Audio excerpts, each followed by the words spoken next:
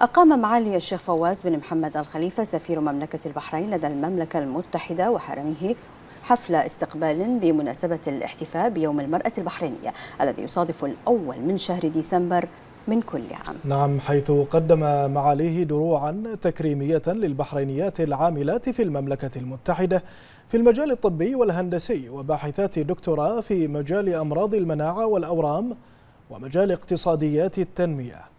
وذلك تقديرا لجهودهن في دعم مسيرة التنمية الشاملة لمملكة البحرين وتمثيلهن المشرف للوطن في الخارج.